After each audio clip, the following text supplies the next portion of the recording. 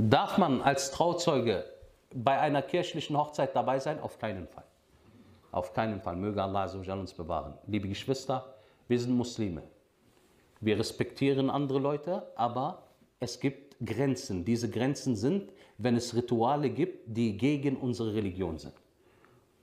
Und das, was in der Kirche gemacht wird, die Rituale, sind sie nach dem Tawhid, nach der Einzigartigkeit Allahs? Auf keinen Fall. Und deswegen ist es verboten, an solchen Sitzungen teilzunehmen. Na? Äh, was das Beglückwünschen des Brautpaares anbelangt, jetzt zum Beispiel sind das Nicht-Muslime, kann man ihnen gratulieren? Man kann ihnen gratulieren, das ist überhaupt kein Problem. Das Gratulieren selber ist ein ganz anderer Akt. Aber man darf nicht beisitzen bei so einer Sitzung. Wallahu ta'ala ala wa a'la.